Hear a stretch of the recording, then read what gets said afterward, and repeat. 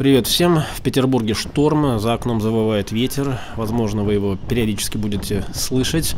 И когда этот ветер дует, то особенно сильно это ощущается здесь, в Сестрорецке, где я живу, и в его окрестностях.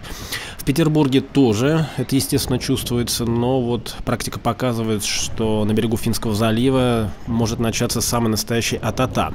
Я давно хотел сделать небольшой выпуск о петербургских наводнениях, потому что и в процессе экскурсии постоянно приходится это объяснять, поскольку в городе полно мемориальных досок с отметками уровня воды, в основном наводнение 1824 года. Оно было наиболее катастрофичное из всех, которые происходили.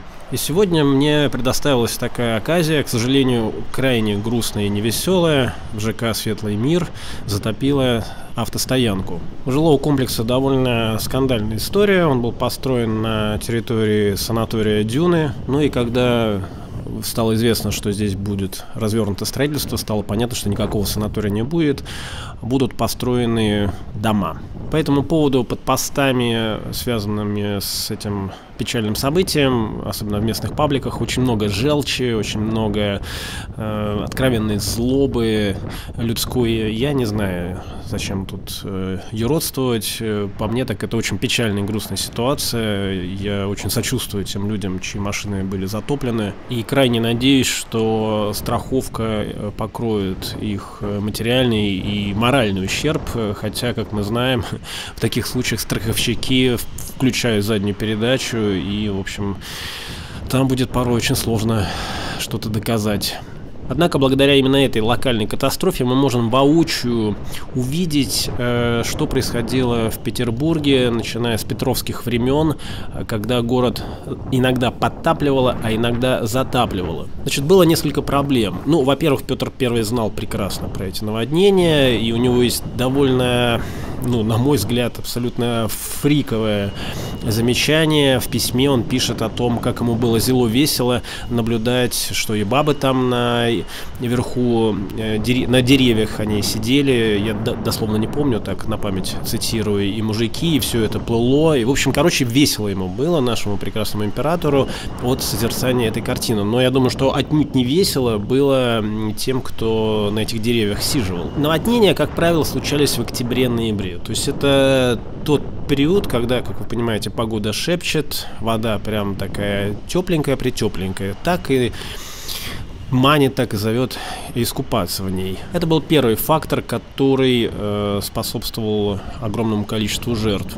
Вторым фактором было то, что это сейчас мы с вами ну, избалованы там и спортом, и всякими курортами и так далее. И вот я, когда вожу экскурсии, я всегда прошу поднять руки тех, кто не умеет плавать. И, как правило, ну вот, не знаю, там из 40-50 человек поднимает э, человека 2-3. То есть все остальные либо худо-бедно, либо очень хорошо, но плавать умеют. Если же мы возьмем, например, 18 век, то мы выясним, что плавать практически никто не умел, потому что это было никому не нужно. Ну, плавать должны были перевозчики через реку, лодочники, плавать должны были моряки, плавать должны были рыбаки, а простому человеку, ну нафига ему? Он э, этим никогда не занимался. Искупаться значило действительно искупаться, то есть залезть в воздух, там, поплескаться и прочее. Да и потом, ну, когда у простого, например, мужика время, чтобы пойти искупаться.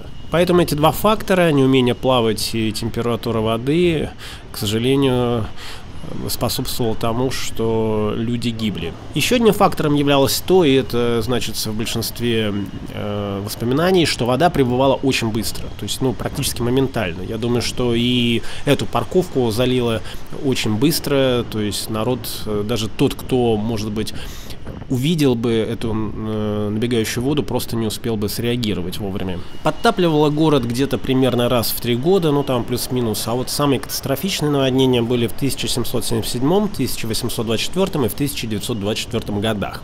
В 1977 году э, как раз-таки э, разбило нафиг все фонтаны в летнем саду, после чего он из французского регулярного превратился в английский пейзажный, то есть э, все эти симметрии, круги, квадраты в основном ушли, но осталось несколько баскетов, а он стал вот таким а-ля лесом. Именно в этот летний сад ходил, например, Пушкин. Потом его, как вы знаете, восстановили не так давно э, при Русском музее, это филиал Русского музея, и, на мой взгляд, он стал абсолютно убогим.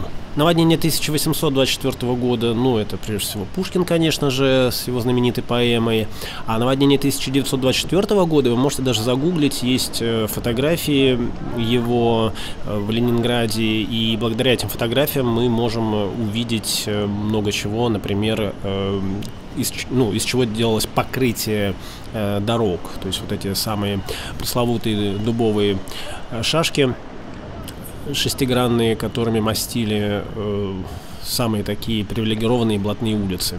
Как наводнение, так они всплывали, дорога спучивалась и все. И после того, как вода сходила, лежали целые штабели этих шашек. Во время наводнения каждые полчаса на Петропавловской крепости стреляла пушка, оповещая горожан, что грядет ненастье. Э, я вот э, на площади Восстания, например, рассказываю, что это наш такой пуп земли, э, ленинградский, петербургский, еще Дивер, наш первый убер-полисмейстер, еврей, кстати, по национальности, португальский, который был назначен на эту должность Петром Первым, э, приказывал, что вот во время наводнения все должны брать свои пожитки и ехать в сторону Песков. Пески – это как раз территория за площадью Восстания, это нынешние советские улицы. А вот сама площадь Восстания, тогда Знаменская площадь, ну а на момент Петра Первого там вообще никакой площади не было, это было сочленение нескольких дорог, Новгородского тракта и строящейся несколько перспективы. Туда можно было э, принести свои скудные пожитки, потому что туда вода не доходила, и вот если приглядеться, опять-таки можете поэкспериментировать, выйти на станцию метро Площадь Восстания, посмотреть на дом на противоположной стороне Невского проспекта, вы увидите, что на самом деле действительно заметно э, утоньшение цоколя, то есть идет не, небольшой подъем Невского проспекта в сторону площади Восстания. Тут, кстати, я оказался невольным помощником съемочной группы «Известий», помог поддержать камеру оператору. Ну и довольно долгое время считалось, что причиной наводнений э, было то, что идет большая вода с Ладоги. А потом выяснилось, что нет, идет большая вода как раз, э, точнее большая волна как раз со стороны залива.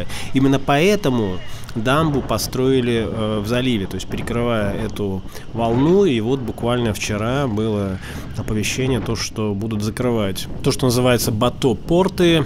Бато по-французски это корабль-судно, порт это дверь, то есть корабль-дверь.